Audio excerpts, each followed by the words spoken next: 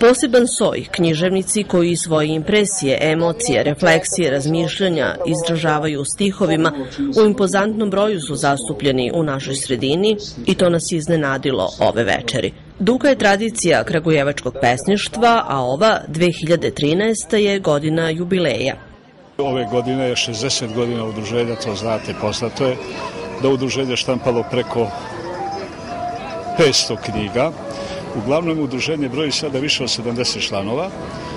Išli smo da nekako animiramo i angažujemo mlade ljude. To su uglavnom ljudi koji su završili te filološki fakultet, recimo veliki broj njih. Imamo i e, dva, tri doktoranta, ne znam, engleski jezik, opštu lingvistu i tako dalje. Tako da, u stvari, uh, išli smo na to da se mladi ljudi angažuju u našem udruženju i u tome smo uspeli.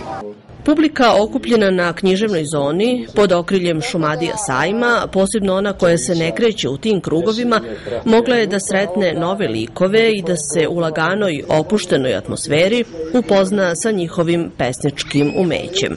Stihovi o ljubavi, ali i o drugim temama koje pokreću stvaralački nerv prošle godine i ove godine objavljene su dve moje poslednje knjige pesama. Objavio sam do sad šest knjiga pesama. Uh, prošle godine su objavljene moje pesme paralelno na srpskom i nemačkom. Profesor Istić je preveo, prepevao to na nemački jezik, a ove godine su objavljene moje pesme na srpskom i engleskom jeziku.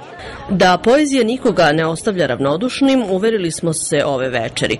Publika okupljena u većem broju od očekivanog i veći broj prolaznika koji su zastajali poneseni emocijama i skladnim pojanjem obeležili su ovo dešavanje pod vedrim nebom. Indirektni učesnici programa bili su i gosti letnjih bašti iz okruženja. Namera organizatora književne zone upravo je bila da urbano jezgro grada oživi. Ove večeri tome je doprinela pesnička reč. Novi dan će doneti nova poznanstva i drugačija iskustva.